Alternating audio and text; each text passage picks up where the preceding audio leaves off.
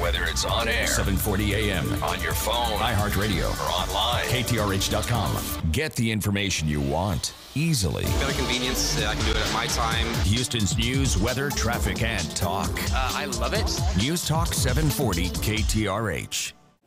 Good morning and welcome to Houston's Morning News. So, are you ready for Labor Day weekend? Not the best news to start your Labor Day weekend on, especially when we get a jobs report like this. Okay, so it stays the same 9.1% in terms of unemployment, but the fact that there's no new net employment when you combine the numbers from the government and private employers, that is not a good sign. The worst since 1945.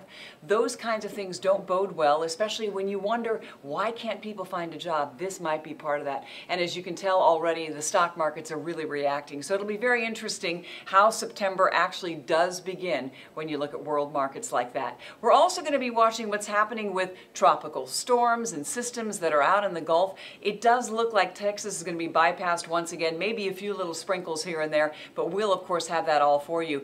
And never worry, even though Labor Day is a day off for most everybody, we will make sure if there's any storm coverage to have, we'll have it for you. We'll be back in full force on Tuesday we hope you have a great weekend. Enjoy your family and go Astros.